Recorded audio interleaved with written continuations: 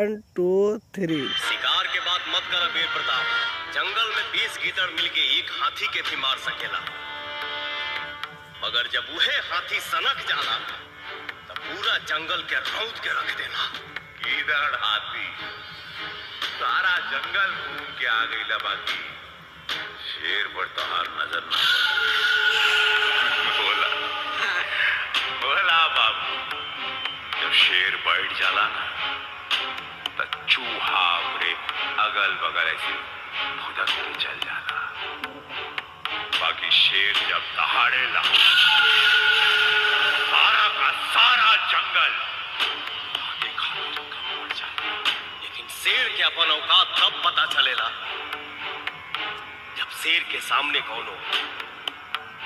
बब्बर शेर खड़ा होला तब फिर एक लड़ाई साबित करी कि कौन शेर है और कौन बब्बर शेर?